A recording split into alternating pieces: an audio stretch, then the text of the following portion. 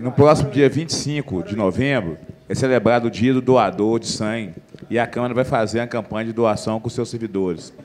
Peço aos vereadores que colaborem liberando os funcionários para fazer a doação no dia 20 de novembro. Quem quiser fazer a doação pode deixar seu nome na lista que está na TV Câmara.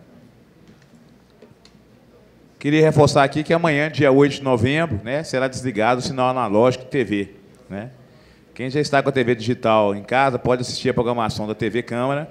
Né? É só sintonizar no canal 60.2 da sua TV prestigie a TV pública da nossa cidade, sintoniza o canal digital 60.2. Né? Que queria lembrar aqui que ontem né, fizemos uma visita, né, eu e o pastor Alcides, na cidade de Divinópolis. Fomos lá conhecer a estrutura da Câmara, a TV Câmara lá, e conhecer algumas coisas do, do Legislativo lá.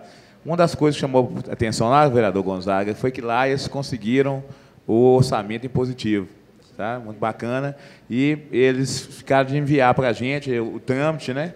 o trâmite que eles seguiram lá. Falei, ó, nós temos um vereador lá que é, é uma bandeira dele, quem sabe a gente consegue né, no próximo orçamento. Ok?